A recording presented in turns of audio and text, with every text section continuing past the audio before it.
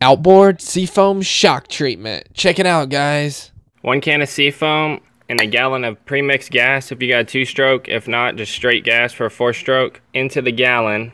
You disconnect your fuel hose where it goes into your uh, primer bulb and get a, a short piece of hose and stick it down into that tank.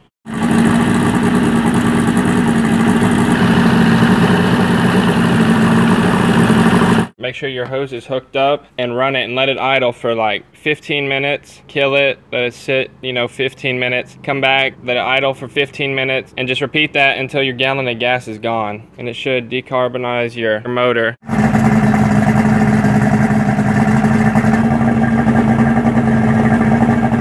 and it's gonna smoke like crazy so make sure your neighbors don't mind it or do it out you can do this on the dock too or just trolling out on the lake or ocean Later.